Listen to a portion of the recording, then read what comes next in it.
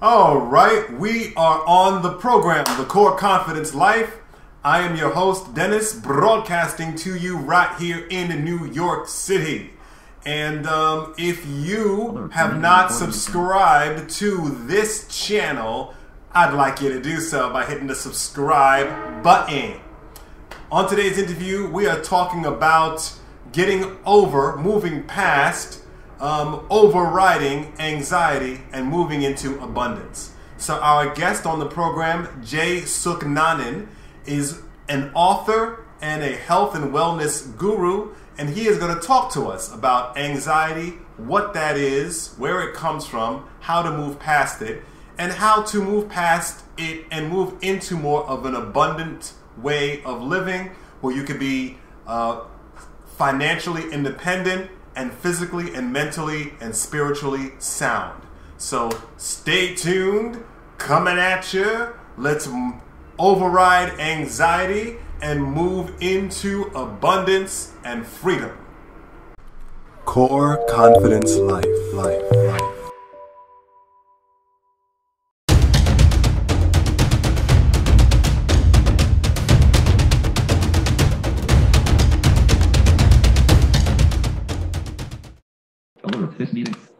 All right, we are on the program and we are talking to Jay Sooknanan, and he is a life coach, a health and wellness guru, an author, and everything like that. What's going on, Jay? I'm good, brother. Yourself? How you doing, Dennis? Um, doing well. Good to have you on the program. Um, I've known you for several years, and I've watched you grow and turn into the life coach, health guru, and the man you are today. So it's good to be able to interview you on all that. Yeah, I'm excited. I've always liked your energy. You've always been an upstanding person. You work hard. So it's nice to be around um, like minded people. Yeah, a- absolutely. Absolutely. So we are on the program. We're talking about uh, mental health, anxiety, depression, things like that, you know, stuff that you got a book about, right? So just before we dive into the topic, tell everybody a little bit more about who Jay Sooknanan is. So, I don't know. I'm human. I'll start off with that. I'm human just like everybody else. We're all one. Um, I'm born and raised in Brooklyn, Bensonhurst. I lived in Trinidad for a while, where my family's from. I I believe in that we could change the world for, to make it a better place just by working on ourselves and creating an internal inner peace, which would create world peace. Um, I also believe in, you know, creating my wealth so I could actually fund the changes I want in the world. Um, and there's just so many great things that I see. I actually was, I, I had I went down both paths, right? So I went down the good path and the bad path. Um, I'm a bad path, just bad association, bad choices, uh, and bad influence. So that's kind of like where we went down and my teenage years from 15 to 17 but before that i was an a student worked hard tried to help my family as much as i could. I graduated high school on time after that 17 year old uh, went to college did really well there. On that journey i realized i could still be a doctor which was my childhood dream. That really got me super excited about life. I started working hard graduated with the highest honors of my first college went to my second college studied biochemistry there I met my friend that was a life coach. He asked me, Jay, you know, uh, can I do it? Can I uh, try this on you? I said, okay. And he said, what's your purpose in life? And I answered it, but I kept it moving from there. I was going to be a doctor, so I was super focused. Went into EMS. I had already volunteered over 500 hours in the hospital. I worked with, I was working with Buddhist monks as well for about four years. I realized I didn't want to be a doctor while I was working on the ambulance. I became a nutritional therapist, personal trainer, because I realized meditation and health and wellness could actually heal people before they even get sick. I also then decided to get into real estate because I wanted to find out how to fund my purpose in life. So my purpose I had written down was to help join the world and work to end suffering, making sure everyone has food, water, shelter, clothing, furthering that to holistic healthcare and education. I want to help inspire people and motivate the young and that, that was the journey I was on. I was hitting those goals, and I realized I had to make sure I was happy, so I had to fill up my cup and charity starts at home. And actually, charity at home is what fills up my cup. I like to make sure people are good and that we have a good life. So when I go out and help people, we have a solid foundation. So now I'm a business owner. I'm putting out the second book, and that's pretty much it. That's my life in a nutshell.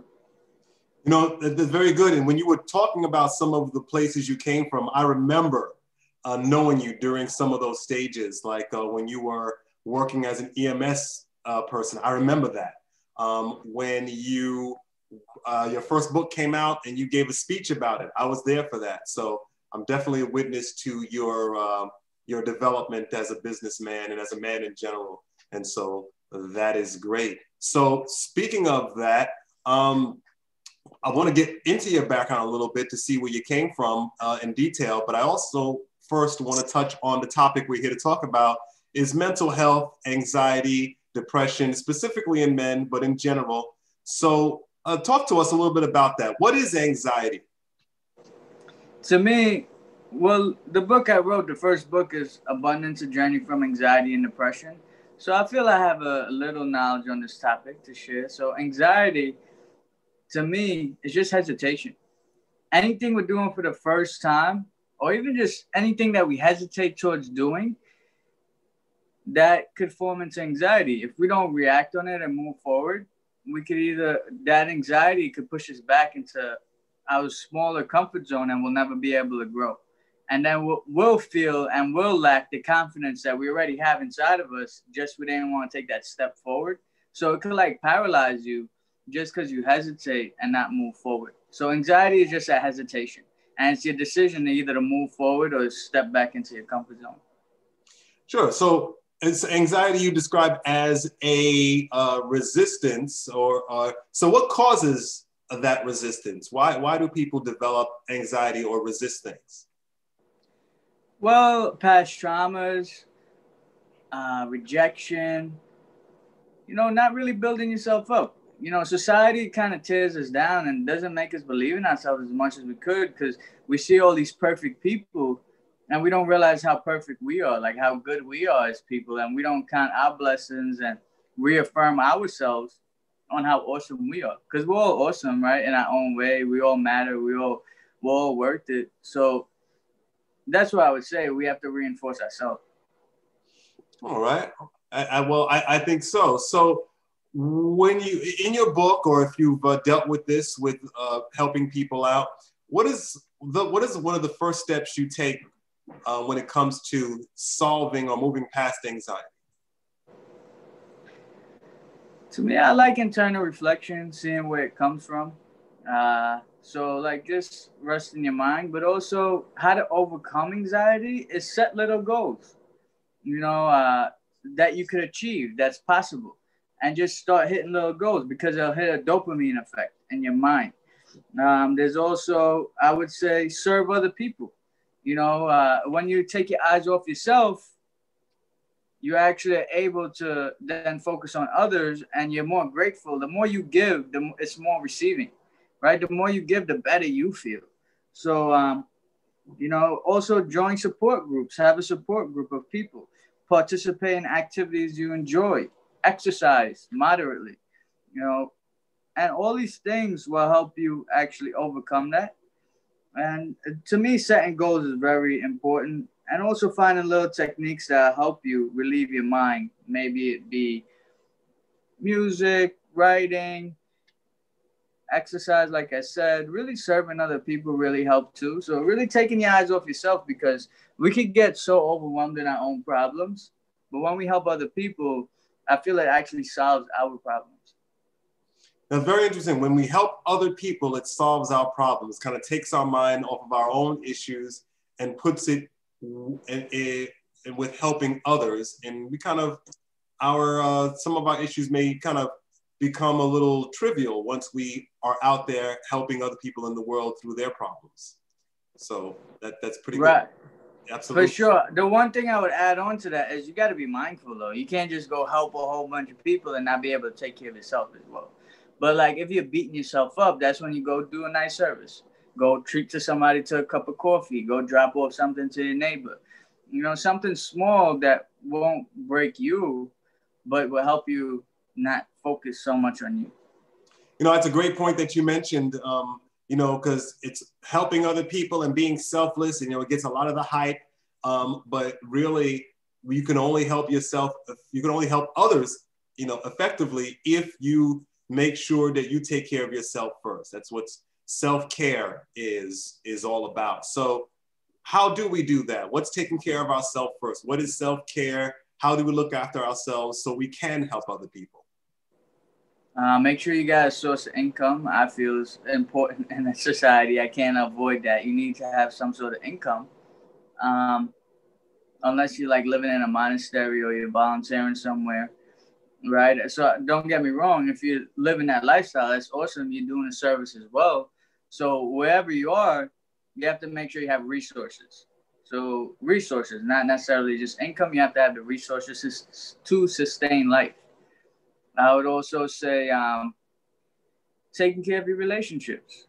You know, I, a lot of people they mess up their relationships because they look at other people and it may look down upon people. Because I've experienced this personally. I've actually done this.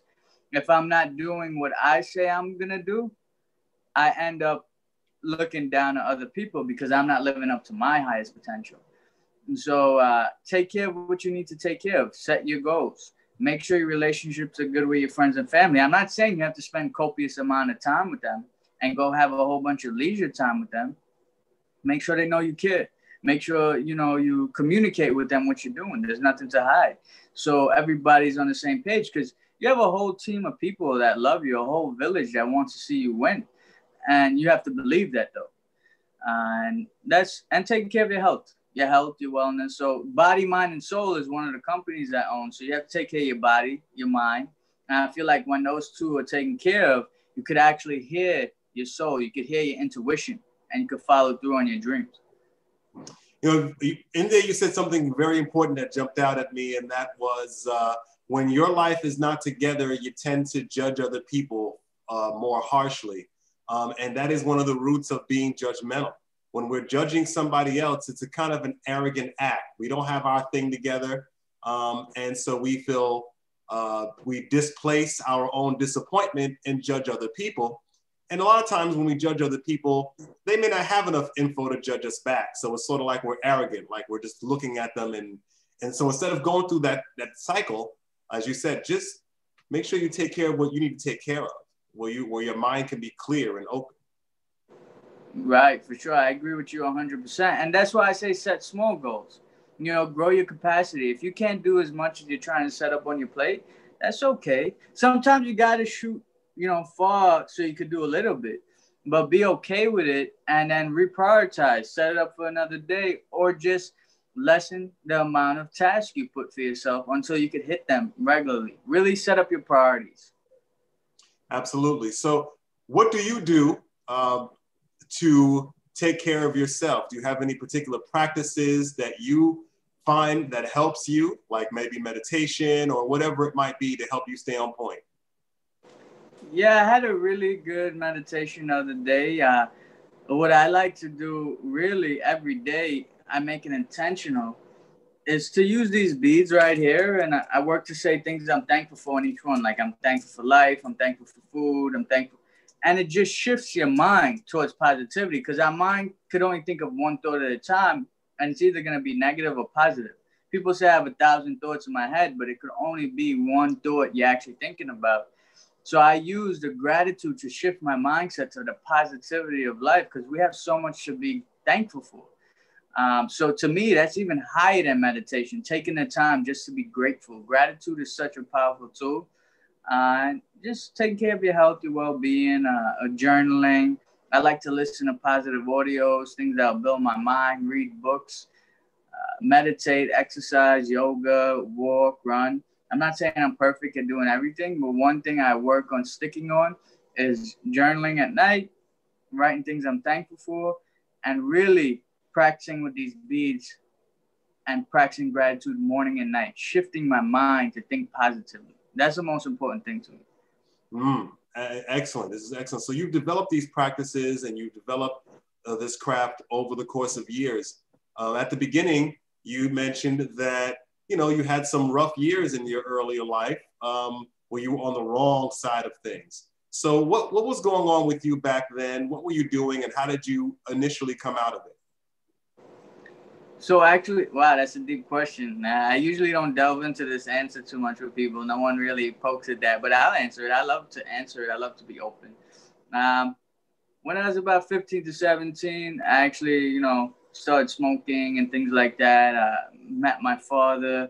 You know, he's a good man, a good person, but I saw his ways of living and I adapted to it. I, I actually incorporated into my own life and I actually went into I elevated that and I made that lifestyle and started selling weed and things like that and maybe more um, to be honest. And I just woke up. I got in a little bit of trouble and I said Jay you weren't you weren't here to waste your life. You're not here to harm people. You're here to help people. And you're wasting your life. You're gonna be a doctor. Wake up, wake up, wake up. You know, and like I had to wake up, and I just got back on track in life. Um, so it was really the association, the influence, good people. They just had the wrong association and influence as well. They had some of the biggest hearts, those people I was with. Uh, but that's what we face. That's what we were influenced in doing. And I feel like if you say I'm bad, right? I wrote this in my second book. If you tell me I'm bad, I'm gonna go do bad things. You know, I'm gonna because you're defining me. That's like saying someone's a bully. You're not giving them the room to grow and say that action they're doing is bullying, but you're a good person. You know, you're not reminding them that they're a good person and they just have to really look at their actions that they're committing to. You know, so you know that that's beautiful. You know, I that's I don't hear that talked about enough where we define people by their actions and convict them as bad. Oh, Jay, you you were caught smoking, so then you're bad. Oh, you were selling weed, so you're a drug dealer. So it, it's we define people by their, uh, if you want to call it shortcomings or uh, mishaps or whatever you want to label it, and then we tend to convict their personality as a whole, and that doesn't help anybody.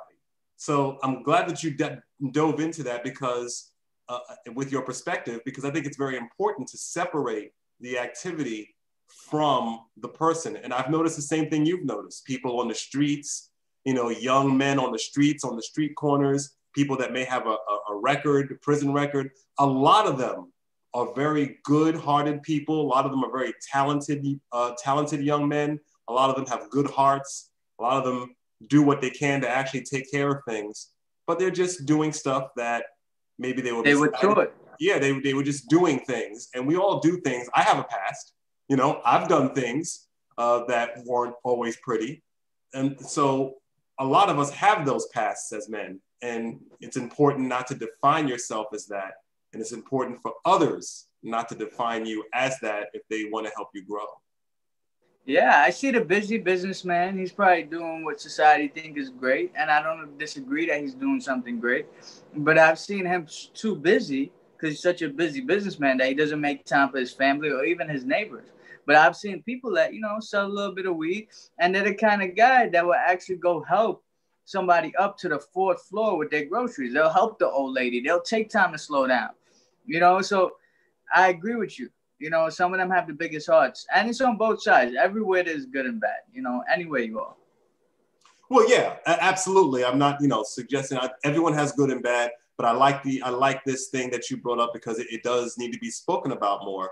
A lot of these people we call miscreants, they just are going through stages, or they have some scarring, or they're repeating a pattern of some sort, but that doesn't wow. make them bad people. You, you have a lot of great insight. I agree with you 100%, Dennis absolutely. I think that's great. So, all right. So, how did you? I know you touched on it a little earlier with your friend as the life coach, kind of bringing you out of it. But really, what what was your personal motivation to moving into this life of abundance? Working with the monks, uh, practicing gratitude really helped. Shifting the mindset from an employee to an entrepreneur. And if I'm going to really go help the world, because I felt so grateful to be able to have food, to be able to have shelter, and all these little necessities that we have. And I'm like, how does the world, how do other people not have it? You know, we have such an abundant world. Why do people not have food? Why do people not have homes? Why do people not have clothes? I don't think that's fair. We're all one. I feel like every one of us are one. We're, we're all the same. So we need to like figure out a way to actually do that. Right? I hope my words just could do that, right? And then people could open up their mind. But I'm also creating my wealth so I could fund these projects and do what I need to do to actually have those things come to fruition. So everyone has a certain standard of life. I'm not saying I'm against capitalism and people growing their wealth because that creates innovation, that creates change, right, for the better. I'm just saying everyone should have a standard of living, and I'm so grateful to have that. At the same time, I'm gonna enjoy myself, but if we're gonna do something in life, let's work a little harder, right? So it could be a little more of a contribution to the world. You know? Yeah, absolutely. So, um, if someone's watching this program and they're ready to move into abundance, putting aside some of their anxiety and kind of living more holistically, uh, such as you do, what would be the very first steps for someone who's very new to this to do? I would say delve into your mind. Um, you know, maybe journal. Find out what your meditative practice is for you, right? So, a meditative practice is just something you focus on. It could be cooking, it could be cleaning, it could be something that singles out and kind of focuses your mind so you don't have to think of so many thoughts because we really just overwhelm our mind so we can never change right if we're overwhelming our mind with so many thoughts and we don't take that time to center ourselves we'll never move forward uh, we'll just be stuck so i believe you need to figure out what that meditative practice is for you right exercise gratitude meditation yoga cooking cleaning whatever you like right? Find something you like that really will take your mind off everything else.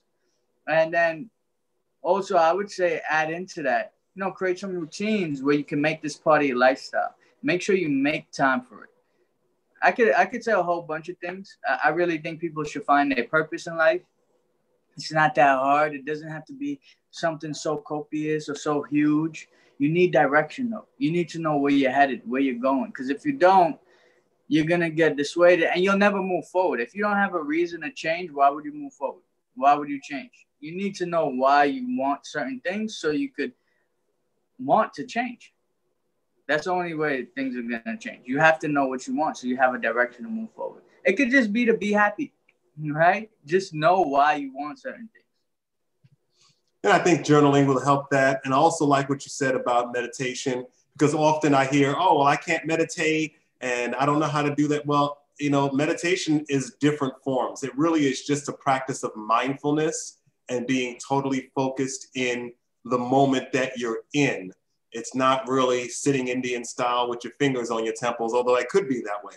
Uh, but really, meditation for the average person really is just what you said. It could be focusing on a cookie, cleaning, um, or even silence. I love active silence. I love being in active silence. So whatever it is, what you even going out in nature, running, all these things can be forms of meditation.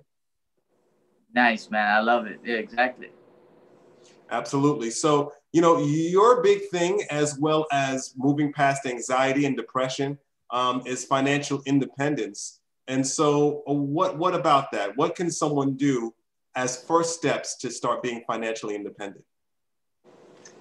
Well, first you gotta know what you want, because if you don't know what you want, then you won't be financially independent because you're gonna let somebody else control your life. Society is gonna control you.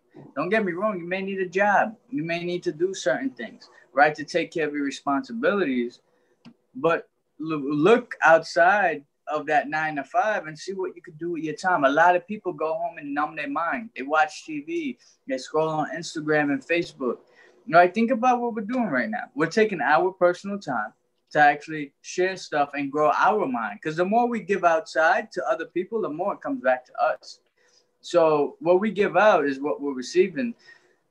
I would say, you know, maybe find an endeavor where you could grow yourself personally, find an outlet where you could make money. Some people say find your passion, right? Yeah, you could go upon your passion and figure out something out of that. But I also say find something that works. Find something that you could make money, that you may not have to go in debt to do it. And because I don't teach people to go in debt. and little things because our society is in thirty thousand dollar debt average for per person, right? So like work a way to find a way to actually increase your income and save your money, budget your money. A lot of people they let their money slip past them. They say, "Oh, I don't make a lot of money, so I don't have to budget," right? So why? You have to budget more than anybody else. You have to take control of your finances. You can't wait for oh, I'm gonna wait till I hit the lottery. You gotta become the lottery. You gotta find that opportunity that'll change your life forever. So that's what I would say. You know, maybe find an opportunity, but really, outside of your nine to five, start thinking how could I create what I want? What do I want? And figure out a path to go there. And when you find something that may not look like what you want, right? It may not look like the path or the vehicle that you were expecting. If it's gonna help you with your vision and it's not gonna break God's laws or man's laws or interfere with any religious beliefs or practices, I suggest you try something outside of your comfort zone and grow yourself as a person and go achieve something to have the life you want. Mm, all right, good stuff. That's that's really good stuff that you're talking about, and it definitely is important to not underestimate your own finance. Oh, I'm not rich, so what do I have to spend? Well, you can start making a budget no matter what you have in your account. You can start practicing discipline and looking for more ways to grow your income incrementally, just what you have right now. Um, and I also say that you know, you don't, you, people's passion doesn't always mean that the passion will be their job because I think people get this wrong. Oh, what's my passion? You think that you're going to be doing that as a career. No, sometimes your career can be separate from your passion. But I do encourage people to like what they're doing. Not it doesn't necessarily have to be your passion. Your passion could be something else, but knowing how to do something and enjoying it are two different things. And if you don't enjoy what you're doing, at least for me, it's not going to get done well. Yeah, for sure. And it's all to me, the biggest thing in life is attitude. So you choose to be happy no matter what you're doing. Like nothing I do, I'll clean up, you know, poop. And I know my bigger purpose. So the poop is insignificant. You know, so I'm just to be happy with my attitude towards life. And everything else will be okay because I know where I'm headed to. That's good. Excellent. Yeah. So, so even if you are doing something that may be a drag, don't focus on that. Focus on the why you're doing it. Let your happiness be centered around why you're doing it. So, good point. Good point there. Um, sure. All right. So, how can people uh, read your book, get your book, learn from your book, and become uh, less anxiety prone and more abundance prone? Nice, man. Well, they could get it. They could just uh, Google me. My name is Jay Sooknanan, J A Y, last name S O O K N A N A N. You could also Amazon me. Uh, you could search up the book title. It's Abundance, A Journey from Anxiety and Depression. We have Facebook is Jay Sooknanan. Uh, my Instagram handle is jfaith512 And there's so many different ways. And one of our businesses where you can find our number and contact information as well is called Body, Mind, and Soul, BMS.com. And the work number is 516 453 5190. And that's pretty much it. All right. All right. Well, thanks for coming on the program, uh, Jay. It was certainly good to interview you and get to talk to you about all of these issues. And, um, you know, I'm glad to see that you are continuing to develop who you are and move further into holistic lifestyle and abundance. That's excellent to see. Thank you, brother. Well, it was a pleasure. It's always great to connect with you. I love that we met through Toastmasters because that was actually a big light for me. It created a lot of positivity into my life. And look, you're showing up again in my life because we are lights and we are here to create a change in the world. And thank you for sharing what you're sharing with men in general and just the world because this will help anybody. So you're a great person. Everyone I know loves you and we're thankful for you. Thank you very much, sir. I definitely appreciate that. And um, certainly when other things occur with you, we might have you back on the program to show everyone what you got. Thank you, Dennis. Have a great day, guys.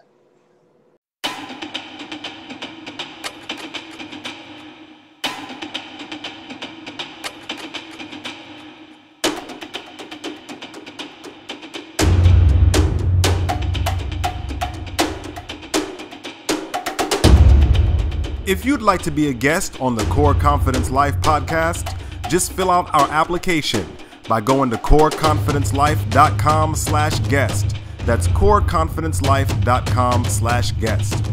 We appreciate you and all your feedback. So to give us comments about the podcast or anything else, just send a message to Dennis at coreconfidencelife.com. That's Dennis at coreconfidencelife.com. Follow us on Facebook, Twitter, YouTube, and all the social media outlets, of course, at Core Confidence Life. I'm your host, Dennis, from New York City, giving you higher consciousness, lower stress, hard hitting manhood issues with just the side of cornball humor.